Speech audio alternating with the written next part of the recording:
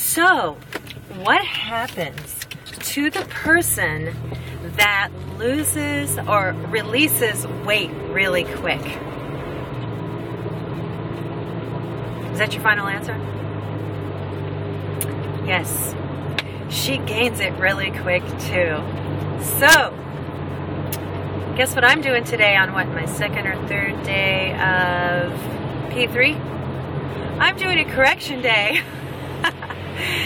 so thank goodness I did not gain as much as I lost on my first day because if you remember, my first day of P2, I lost 6.6 pounds.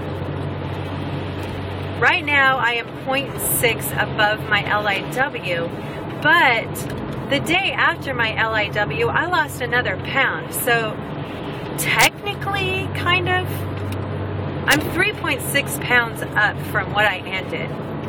So, whew, it's getting a little scary to have all this liberty and all this freedom out here. You know what I'm saying? So, here's what I've been doing. My husband and I started off just diving into the coconut oil in our 72 hours because I had not used coconut oil before that. So then that was all delightful and I gained 0.2, 0.4, 0.2, 0.6. Anyways, it was just like every day I was like up a little bit more, up a little bit more, up a little bit more. Those add up.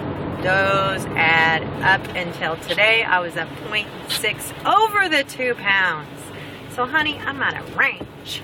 Anyway, so um, what was I going to tell you? Oh, so after the coconut oil, then we went to the, um,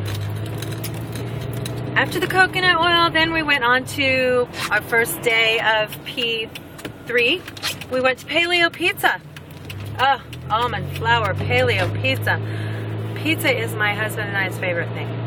So that was very delicious. I mean, for for making it for the first time, it was insanely perfect. I couldn't believe my husband loved it, and he was all ready. He said to tell me that to um, fake that he really liked it because I worked so hard on it. It took me so long to make it. So I thought that was like a very nice, well trained husband to tell me that. Anyway, so. But I have to tell you guys this hilarious story about my husband. First of all, I already told you guys that number one, I was surprised he went on HCG. Number two, I was surprised he stuck with HCG. And number three, you would not believe what happened when we went shopping for P3 Foods. My husband began picking up products, looking at the labels, and putting it back, saying, Up, oh, can't have that, it's got too much sugar in it. Up, oh, can't have that, that bacon has sugar. Honey, we can't buy any bacon because all the bacon has sugar in it. And I mean, item after item after item, my redneck bow hunting blue collar husband was looking at the labels. It was just killing me. I mean, it was everything out of character. I would have totally like not passed a test if somebody would have said, someday if your husband went, would you believe that your husband went on HCG diet? I would say no, and I would totally not pass if I found out he was reading labels before he was buying food. I, I would not have said that. You know what? HCG is life changing. It's life changing.